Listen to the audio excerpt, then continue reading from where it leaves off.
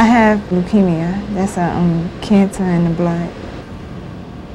Letitia Bennett is 18 and an outpatient at Mount Sinai Hospital on the Upper East Side of Manhattan.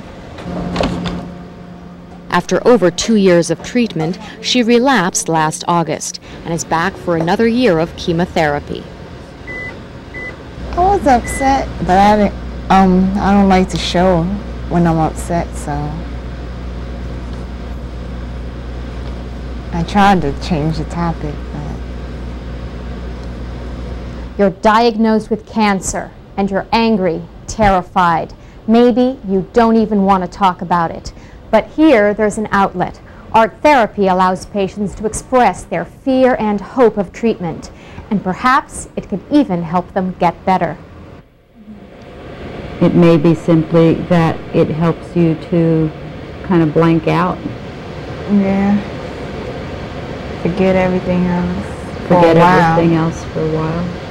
For three hours each week while Letitia receives chemotherapy, she works with her art therapist, Elsa Pellier. For all of us here, we work with the idea that the kids are going to do well. Is this line okay?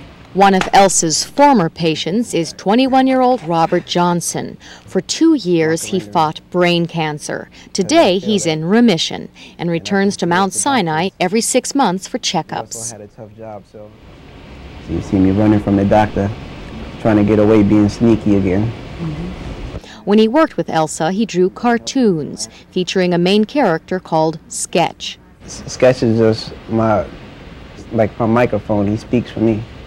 Now that Robert is cancer free and attending college, his sketch has wings. Right now, since he has this silly hat, mm -hmm. I'm gonna have him act like, act like he can fly.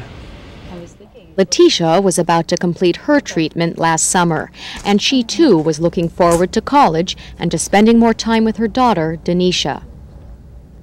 But then tests revealed that the leukemia had spread to her spinal fluid.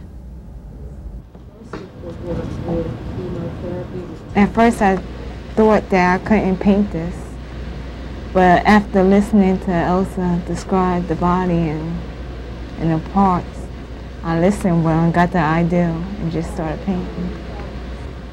Actually, I'm kind of surprised I've gotten this far.